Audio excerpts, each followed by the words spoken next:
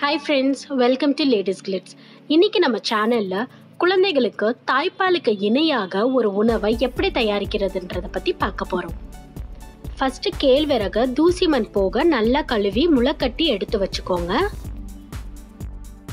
அடுத்து கேழ்வரகு மூழ்கிற அளவு தண்ணி ஊற்றி ரெண்டு மணி நேரம் நல்லா ஊற வச்சுக்கோங்க. இப்போ ஊற வச்ச தண்ணியோட சேர்த்து மிக்சியில் போட்டு ஒரு ரெண்டு மூணு தடவை நல்லா அரைச்சி எடுத்து வச்சுக்கோங்க.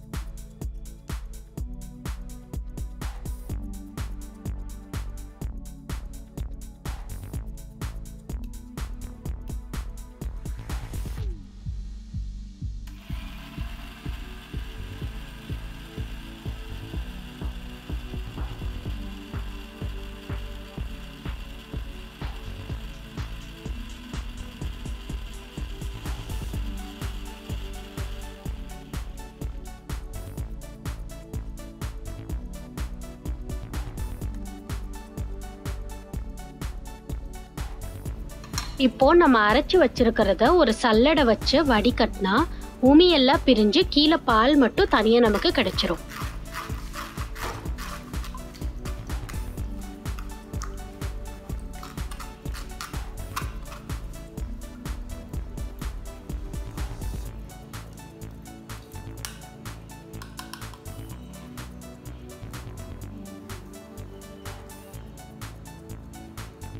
இப்போ நமக்கு கிடைச்சிருக்க இந்த பாலை ஒரு மணி நேரம் ஃப்ரிட்ஜில் வச்சுருங்க. அதுக்கப்புறம் இதை எடுத்து பார்த்தீங்கன்னா தண்ணி மட்டும் மேலாக நிற்கும். கீழே வந்து பால் கொஞ்சம் கெட்டியாக இருக்கும் இப்போ அந்த தண்ணியை நல்லா இருத்துட்டு கீழே வந்து கெட்டியாக இருக்க பாலை ஒரு வேஷ்டி மாதிரி மெல்லிசான துணி எடுத்து அதில் டைட்டாக கட்டி வச்சிருங்க. ஒரு ரெண்டு மூணு நாள் வெயிலில் வைங்க.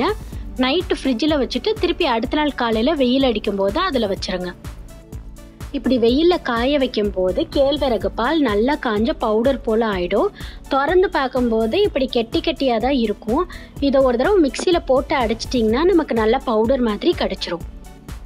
இந்த பவுடரை காற்று போகாதபடி ஏர்டைட் ஜாரில் போட்டு வச்சுக்கோங்க.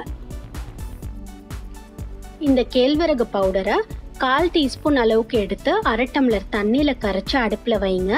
லேசாக சூடு செஞ்சாலே போதும். பால் போல் வந்துடும் இந்த பாலை குழந்தைக்கு ஒரு நாளைக்கு ஒரு வேலை கொடுக்கலாம்.